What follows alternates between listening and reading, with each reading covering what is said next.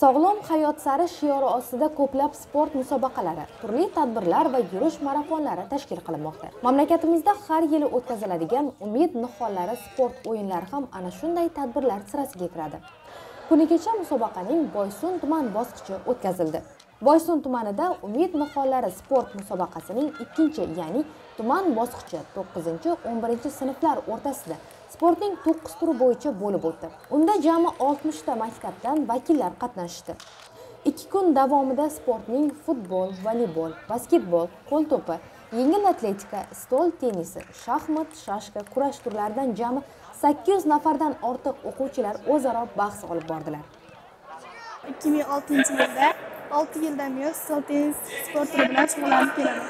Shu paytgacha men ko'plab surxondaryo chempionati tuman chempionatlari va respublika chempionatlarida qatnashib kelaman eng katta yutug'im respublika chempionatida faqat uchinchi o'rinni egallaganman men sport stol qiziqishim ota onam albatta sababchi bo'lgan akalarim qatnashgani uchun orqalaridan meni ham olib kelib qatnashtirganlar va hozirgacha men bu sport turi bilan tayyorlanayotganimdan faxrlanaman. Men xitoy tennischilari Fanzendon va malonlarni o'yinini kuzatib boraman va e, ular kabi o'ynashni xohlayman albatta.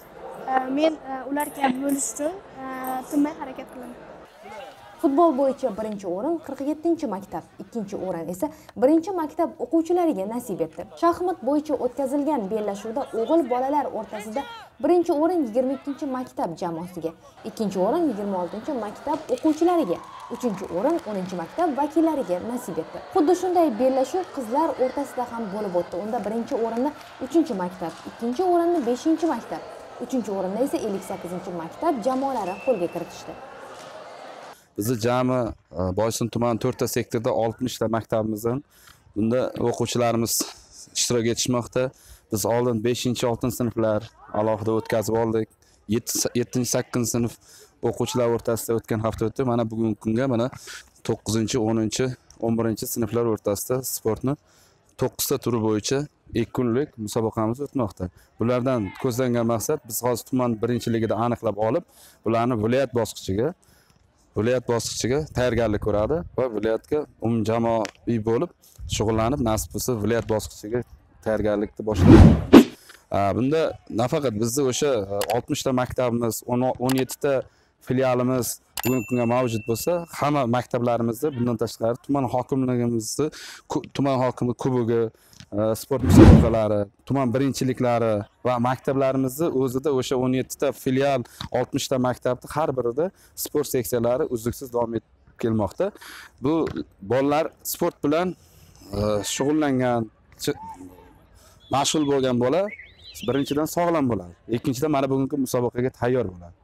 Bundan oldingi bo'lib o'tgan beshinchi oltinchi sinflar o'rtasida bo'lib o'tganda umumjamoa hisobida biz e, qo'l to'pidan birinchi o'rin qizlar o'g'il bolalar ikkinchi o'rin e, basketboldan o'g'il bolalar birinchi o'rin qiz bolalar birinchi o'rin bo'ldi voleyboldan ikkinchi o'rin bo'ldi o'g'il bolalar qiz bolalar birinchi o'rin bo'ldi. Yengil atletikadan oldik uzoqlikka sakrashdan uchinchi o'rinda oldik.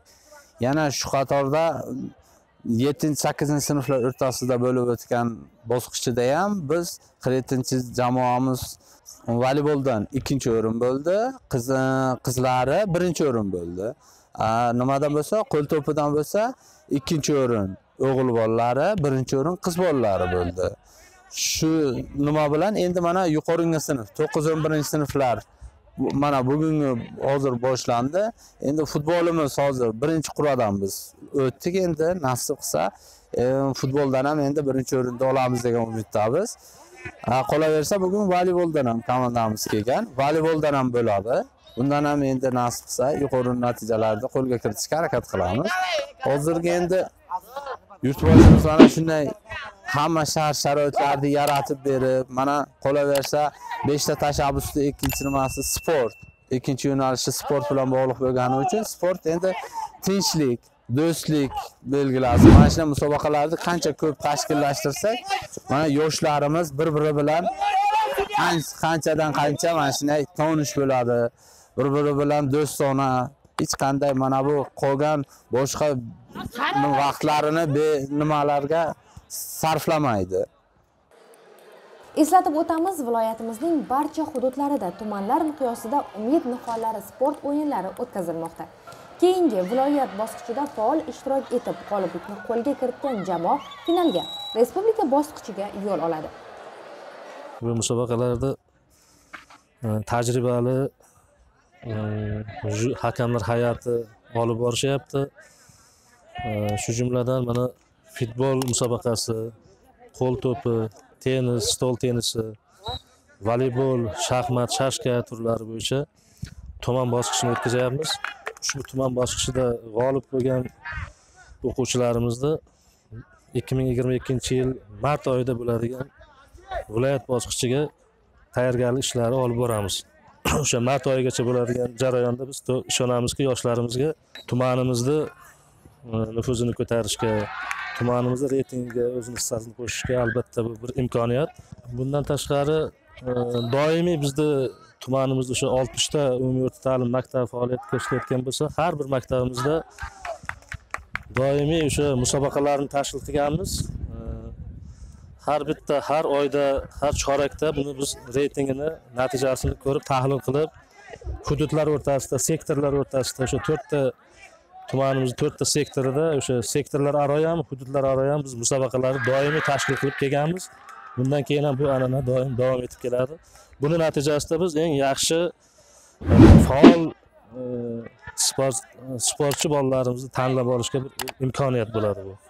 O'sha imkoniyatdan foydalanib mana bugungi kunda umid nihollariga saralangan o'quvchilarimiz tuman bosqichiga yetib keldi. O'ylaymizki viloyatda ham o'zimizni tumanimizni yaxshi himoya qilib yuqori natijalarni olib keladi degan umiddamiz.